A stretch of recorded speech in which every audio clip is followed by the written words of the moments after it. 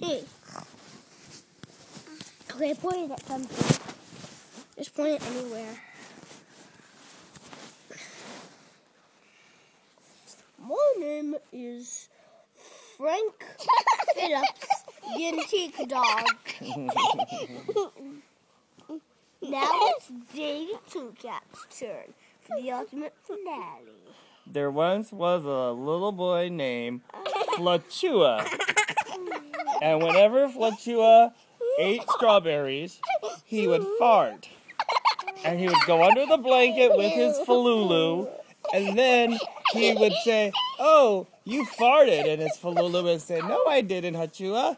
And then his falulu would say, Ew, it was you!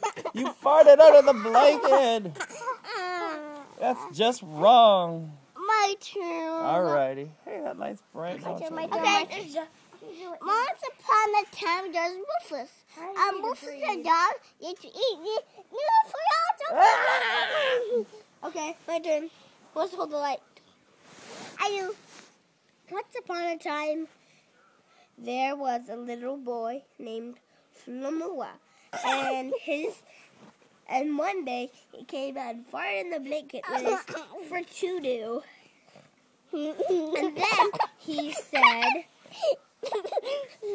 then after he farted, he said, Tunamunu, you farted. And then Tunamunu would say, No, I didn't. You farted. Ew.